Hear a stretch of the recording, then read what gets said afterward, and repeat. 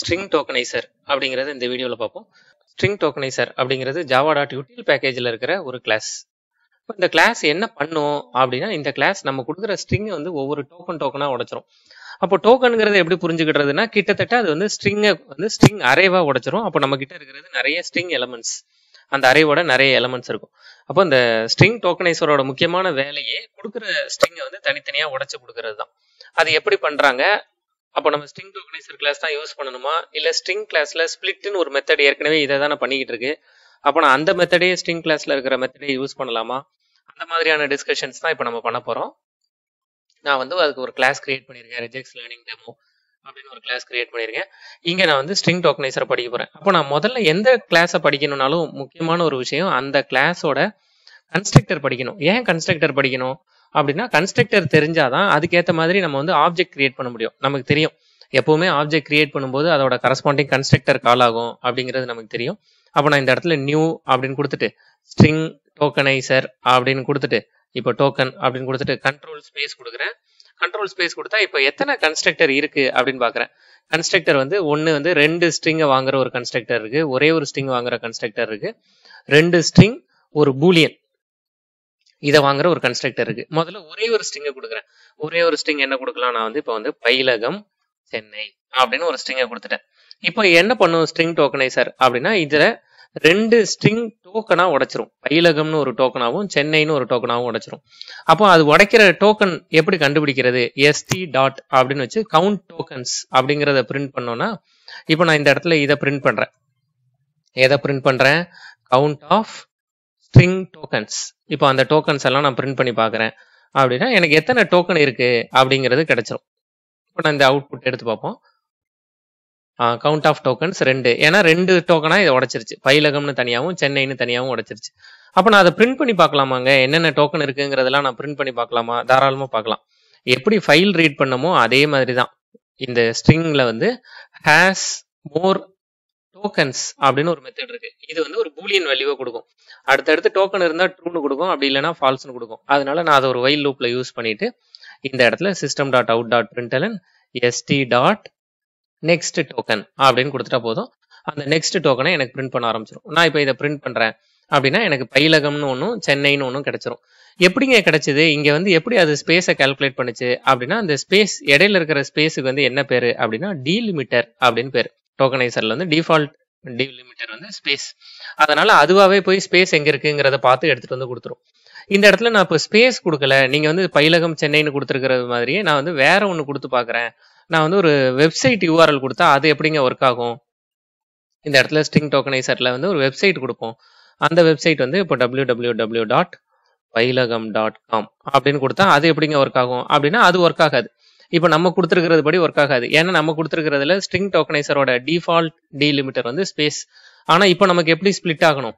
Dot வச்சு dot வச்சு split ஆகணும். அதுக்கு தான் அடுத்த கன்ஸ்ட்ரக்டர் படிக்க போறோம். அப்போ நான் வந்து டீலிமிட்டர் என்னங்கிறதையும் நான் இங்க கொடுக்கலாம். எனக்கு வந்து டாட் தாங்க டீலிமிட்டர் அப்படிங்கிறதையும் நான் சேர்த்து கொடுத்துட்டா இதுதான் நம்ம பார்க்குற ரெண்டாவது கன்ஸ்ட்ரக்டர் இங்க பாருங்க. ஸ்ட்ரிங் நான் வந்து கொடுக்க வேண்டிய ஸ்ட்ரிங் அதுக்கப்புறமா அதோட டீலிமிட்டர் என்ன அப்படிங்கிறது. அந்த டீலிமிட்டரா நான் வந்து இப்போ டாட் கொடுத்துட்டேன்னா எனக்கு டாட் படி பிரிச்சு பிரிச்சு கொடுக்கும்.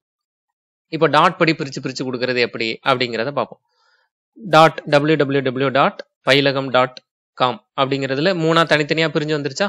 அப்போ ஸ்ட்ரிங் டோக்கனைசரில் என்ன டீலிமிட்டர் கொடுக்குறோமோ அதை வந்து எனக்கு பிரித்து கொடுத்துரும். சரி இது எனக்கு புரிஞ்சிருச்சு.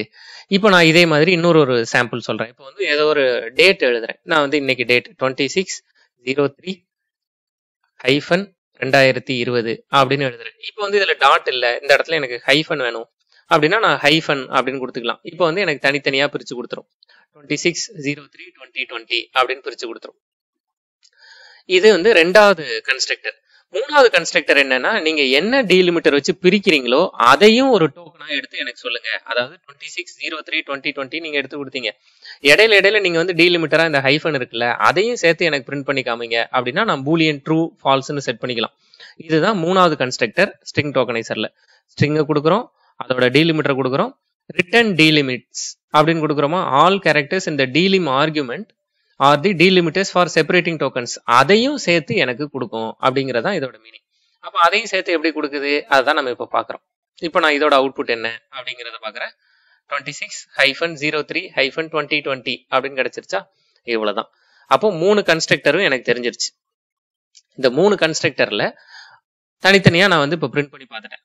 அப்போ இதை தான் ஸ்ட்ரிங் கிளாஸ்ல இருக்கிற ஸ்பிளிட் மெத்தட் வச்சே பண்ணலாமே. அப்புறம் ஏன் ஸ்ட்ரிங் டோக்கனைசர்னு ஒன்று படிக்கிறோம்? அப்படின்னு உங்களுக்கு கேள்வி இருந்தால் ரொம்ப நியாயமான கேள்வி. அதுக்கும் இதுக்கும் என்ன வித்தியாசம்? அதை தான் இப்போ நம்ம வந்து பார்க்க போகிறோம் இப்போ நான் ஒரு ஸ்ட்ரிங் அரே ஒன்று கிரியேட் பண்ண போறேன். அந்த ஸ்ட்ரிங் அரேக்கு வந்து நான் இன்புட் கொடுக்க போகிறேன் எப்படி இன்புட் கொடுக்க போறேன்னா இந்த இடத்துல நான் கொடுத்துருக்கிற ஸ்ட்ரிங்கை வந்து எடுத்து கொடுத்துக்கிறேன். இப்போ நான் வந்து ஸ்ட்ரிங் சென்டென்ஸ் ஈக்குவல்ஸ் டு அப்படின்னு கொடுத்து இந்த பயிலகம் சென்னை அப்படிங்கிறத கொடுத்துட்றேன். பயிலகம் சென்னைன்னு கொடுத்தாச்சு. இப்போ வந்து நான் ஒரு ஸ்ட்ரிங் அரே எஸ்டி அப்படின்னு ஒரு ஸ்ட்ரிங் அரே எஸ்டி ஏற்கனவே வச்சிருக்கிறோமா? எஸ்டிஆர் அப்படின்னு ஒரு ஸ்ட்ரிங் அரே கொடுக்குறேன். இந்த ஸ்ட்ரிங் அரேக்கு எனக்கு வந்து இந்த சென்டென்ஸை வந்து ஸ்ப்ளிட் பண்ணுங்க. எப்படிங்க ஸ்ப்ளிட் பண்ணணும்? அப்படின்னா எனக்கு வந்து ஸ்பேஸ் படி ஸ்ப்ளிட் பண்ணிடுங்க நான் வந்து ஸ்பேஸ் கொடுத்துக்கிறேன். டபுள் ஸ்லாஷ் எஸ் அப்படின்னு கொடுத்துக்கிறேன். அப்போ ஸ்பிளேட் ஸ்பேஸ் படி வந்து எனக்கு ஸ்ப்ளிட் ஆயிரும். இதை நான் வந்து ஒரு ஃபார் ஃபார் ஈச் லூப்ல எழுதி ஸ்ட்ரிங் எஸ் கோலன் எஸ்டிஆர் அப்படின்னு கொடுத்து system dot out dot println S அப்படின்னு கொடுத்துட்றேன். இப்போதைக்கு இந்த டோக்கனை பிரிண்ட் பண்ணி பார்க்காம நான் வந்து என்னோட ஸ்ட்ரிங் அறைவை ஸ்பிளிட் பண்ணியிருக்கிறதுல பிரிண்ட் பண்ணி பார்க்குறேன். பயிலகம் சென்னை அப்படின்னு எனக்கு வந்துருச்சு. சரி அப்போ வந்து ஸ்பேஸ் கொடுத்தா இது வந்து கரெக்டாக ஒர்க் ஆகுது. இப்போ நான் இந்த இடத்துல ஸ்பேஸ் கொடுக்கறதுக்கு பதிலாக நான் என்ன பண்ண போறேன்? இதே ஸ்ட்ரிங் சென்னை காப்பி பண்ணி இதை இப்போதைக்கு கமெண்ட் பண்ணிட்டு இந்த இடத்துல பயிலகம் சென்னை அப்படின்னு கொடுக்கறதுக்கு பதிலாக நான் வந்து முன்னாடி என்ன கொடுத்தோம்? W W W dot Payilagam dot com அப்படின்னு கொடுத்தோமா? அப்போ பயிலகம் டாட் காம்னு கொடுத்து இந்த இடத்துல எனக்கு வந்து டாட் படி பிரிச்சிருங்க அப்படின்னு நான் கொடுக்கணும்னு நினைக்கிறேன்.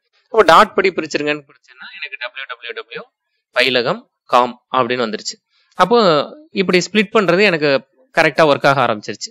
சரி அப்போ எனக்கு மேலே பார்த்த ஸ்ட்ரிங் டோக்கனைசரும் கீழே பார்க்குற ஸ்ட்ரிங் கிளாஸ்ல இருக்கிற ஸ்ப்ளிட் மெத்தடும் ஒரே வேலையை தானே செய்யுது அப்போ எதை யூஸ் பண்ணுறது ஈஸி உங்களுக்கே ப்ரோக்ராமை பார்த்தாலே தெரிஞ்சிடும் பார்த்தாலே ஸ்ட்ரிங் டோக்கனைசருக்கு ஆப்ஜெக்ட் கிரியேட் பண்ணணும் அதுக்கு வந்து நான் டீலிமிட்டர் என்னங்கிறது செட் பண்ணணும் இவ்வளோ வேலை செஞ்சு தான் நான் வந்து அவுட்புட் எடுக்க வேண்டியிருக்கு. அதுக்கு பதிலாக இதை சிம்பிளாக ஸ்ட்ரிங் கிளாஸ்க்குள்ளேயே வேலையை முடிச்சிடலாம்.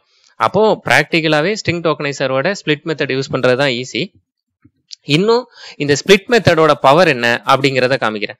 இப்போ W W W dot Payilagam dot காம்னு கொடுத்துருக்கிறதுல இந்த இடத்துல இப்படி இருக்கும்ல HTTPS double slash W W W dot Payilagam dot காம்னு இருக்கும்ல இந்த சென்டென்ஸை கொடுக்குறோம். இப்போ ஸ்ட்ரிங் டோக்கனைசரை யூஸ் பண்ணுறோம் இப்போ ஸ்ட்ரிங் டோக்கனைசரை யூஸ் பண்ணி அவுட்புட் எப்படி வருது அப்படிங்கிறத நம்ம பார்ப்போம். இப்போ ஸ்ட்ரிங் டோக்கனைசரை யூஸ் பண்ணால் என்ன நடக்கும்? ஸ்ட்ரிங் டோக்கனைசர் இந்த சென்டென்ஸை எடுக்கும். இந்த சென்டென்ஸில் நீங்கள் எதை உடைக்க சொல்லணும்? இந்த சென்டென்ஸை எடுத்து எனக்கு இந்த சென்டென்ஸில் டாட் வந்து உடச்சு கொடுங்க அப்படின்னு கேட்கலாம். இல்லை ஹைஃபன் உடச்சு கொடுங்கன்னு கேட்கலாம். கோலன் உடச்சு கொடுங்கன்னு கேட்கலாம். ஆனால் ஏதாவது ஒன்று தானே கேட்க முடியும்? இப்போ நான் டாட் வச்சு இதை உடைக்கிறேன் அப்படின்னு வச்சுப்போம். டாட் வச்சு உடைச்சிட்டேன். அப்படின்னா எனக்கு எப்படி கிடைக்குது இந்த ப்ரோக்ராமோட அவுட்புட் இப்போதைக்கு இந்த ஃபார் லூப்பை கமெண்ட் பண்ணிக்கிறேன் மேலே அவுட்புட் எப்படி வருது அப்படிங்கிறத பார்ப்போம். இப்போ நான் டாட் வச்சு கொடுத்துருக்கிறத ஸ்ட்ரிங் டோக்கனைசர் வச்சு உடைக்கிறேன். அதில் இருக்கும்போது நான் வந்து அந்த அவுட்புட்டை பிரிண்ட் பண்ணிகிட்டே இருக்கேன். இதுதான் நான் பண்ணியிருக்கிறேன் அந்த நெக்ஸ்ட் டோக்கன் என்னங்கிறத பிரிண்ட் பண்ணியிருக்கேன் நான் இந்த ப்ரோக்ராம் இப்போ ரன் பண்ணுறேன் அப்படின்னா டாட் வச்சு உடைச்சிருச்சு. HTTP colon double slash W W W நான் இங்கே ட்ரூ கொடுத்துருக்கிறதுனால அந்த டாட்டையும் பிரிண்ட் பண்ணியிருக்கு அதுக்கப்புறம் பைலகமையும் பிரிண்ட் பண்ணியிருக்கு டாட்டையும் பிரிண்ட் பண்ணியிருக்கு காமையும் பிரிண்ட் பண்ணியிருக்கு. ஆனால் நம்மளுடைய எதிர்பார்ப்பு என்ன? எனக்கு டீலிமிட்டரா வெறும் டாட் இல்ல. கோலன் இருந்தாலும் அதை தனியா பிரிச்சு கொடுங்க. டபுள் ஸ்லாஷ் இருந்தாலும் அதை தனியா பிரிச்சு கொடுங்க. அப்படின்னா இப்போ இருக்கிற ஸ்ட்ரிங் டோக்கனைசர் நமக்கு பத்தாது. நம்ம இன்னொரு ஒரு ஸ்ட்ரிங் டோக்கனைசர் ஆப்ஜெக்ட் கிரியேட் பண்ணணும். அதுல டாட் கொடுக்கறதுக்கு பதிலாக டபுள் ஸ்லாஷ் கொடுக்கணும். இன்னொரு ஒரு ஸ்ட்ரிங் டோக்கனைசர் யூஸ் பண்ணணும். அதுல டாட்டோ டபுள் ஸ்லாஷோ கொடுக்கறதுக்கு பதிலாக இந்த கோலன் கொடுக்கணும். இப்படி பண்ணணும். இதை இவ்வளோ கஷ்டப்படுறதுக்கு பதிலாக நம்ம ரொம்ப ஈஸியாக நம்மளோட ஸ்பிளிட் மெத்தடில் ஆர் சிம்பிள் யூஸ் பண்ணி நம்ம கொடுத்துடலாம். எப்படி கொடுத்துடலாம்? எனக்கு ஒன்னு டபுள் ஸ்லாஷ் கோலன் இருக்கான்னு பாருங்க. அல்லது அல்லதுங்கிறது பைப் சிம்பிள் அல்லது டபுள் ஸ்லாஷ் என்ன இருக்கான்னு பார்க்கணும்? முதல்ல கோலன் இருக்கா? அதை தனியாக பிரிச்சிருங்க. அல்லது டபுள் ஸ்லாஷ் பேக்வர்ட் ஸ்லாஷ் இருக்கான்னு பாருங்க. அல்லது டபுள் ஸ்லாஷ் டாட் இருக்கான்னு பாருங்க. அப்படி இந்த மூணுல எது இருந்தாலும் எனக்கு அதை பிரிச்சு கொடுங்க. அப்படின்னு நான் கொடுத்துட்டேன். அப்படின்னா இது ரொம்ப ஈஸி இப்போ இந்த ப்ரோக்ராம்ல வந்து ஒரு ஸ்பிளிட் மெத்தடை யூஸ் பண்ணி நான் கொடுத்துருக்கிறது ரொம்ப ஈஸி இப்போ இருக்கிற வயல கமெண்ட் பண்ணியாச்சு கீழே இருக்கிற ஃபார் லூப் எப்படி அவுட்புட் கொடுக்குதுங்கிறத பாருங்க. இப்போ ஹெச்டிடிபின்னு தனியாக பிரிச்சிருச்சா? அதுக்கப்புறம் ஒரு கோலன் இருந்துச்சா? அந்த கோலன் அதுக்கப்புறம் டபுள் ஸ்லாஷ் இருந்துச்சா? அந்த கோலனை தனியாக பிரித்து ஹெச்டிடிபிஎஸ்ஸை மட்டும் கொடுத்துருச்சா? அப்புறமா கோலனை தனியாக பிரித்து கொடுத்துருச்சா? டபுள் ஸ்லாஷை தனியாக பிரித்து கொடுத்துருச்சா?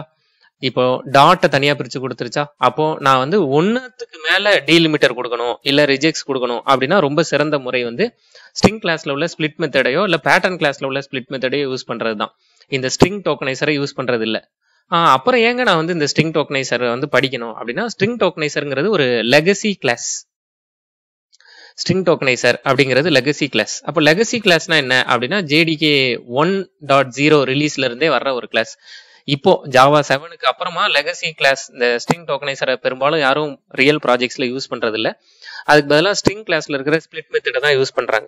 எங்கேயாவது வந்து பேக்வேர்டு கம்பேட்டபிலிட்டி பேக்வேர்டு கம்பேட்டபிலிட்டினா ஜாவா வந்து பழைய வெர்ஷன்ல எழுதியிருக்காங்க அப்படிங்கிற மாதிரியான இடத்துல இந்த ஸ்ட்ரிங் டோக்கனைசரை நம்ம யூஸ் பண்ணலாம். மற்றபடி ஸ்ட்ரிங் ஸ்ட்ரிங் கிளாஸ்ல இருக்கிற ஸ்பிளிட் மெத்தடை யூஸ் பண்ணுறது தான் சிறந்தது. சில இடத்துல வந்து சிஎஸ்வி ஃபைலெல்லாம் ரீட் பண்ணுறதுக்கு ஸ்ட்ரிங் டோக்கனைசரை யூஸ் பண்ணுவாங்க. மேற்கொண்டு எனக்கு வந்து இந்த டீலிமிட்டர் என்னங்கிறது தெரியணும் அதையும் சேர்த்து பிரிண்ட் பண்ணணும் அப்படிங்கிற தேவை இருக்கிற இடத்துல நீங்கள் ஸ்ட்ரிங் டோக்கனைசரில் இந்த இடத்துல ட்ரூன்னு செட் பண்ணி யூஸ் பண்ணலாம். அப்போ ஸ்ட்ரிங் டோக்கனைசர் எப்படி பயன்படுது? அதில் இருக்கிற கன்ஸ்ட்ரக்டர்ஸ் என்னென்ன? அதுக்கும் ஸ்ட்ரிங் கிளாஸில் இருக்கிற ஸ்பிளிட் மெத்தட் எப்படி பயன்படுது? அது எப்படி ஸ்ட்ரிங் டோக்கனைசரோட சிறந்தது அப்படிங்கிறத நம்ம பார்த்துருக்கோம். இனிமேல் இப்போ நம்ம ஓரளவு ரிஜெக்ட்ஸில் எல்லாமே பார்த்துட்டோம். இதுக்கப்புறமா கொஞ்சம் கொஞ்சமாக ரியல் ப்ராஜெக்ட்ஸ் எப்படி வந்து ஒரு ஃபைல்லேருந்து டேட்டாவை ரீட் பண்ணி நம்மளோட ரிஜெக்ட்ஸ் பேட்டர்ன் அப்ளை பண்ணுறது இமெயில் எப்படி எப்படி வேலிடேட் பண்றது? மொபைல் நம்பர் எப்படி வேலிடேட் பண்ணுறது அப்படிங்கிறதெல்லாம் நம்ம அடுத்தடுத்து பார்க்க ஆரம்பிக்கலாம்.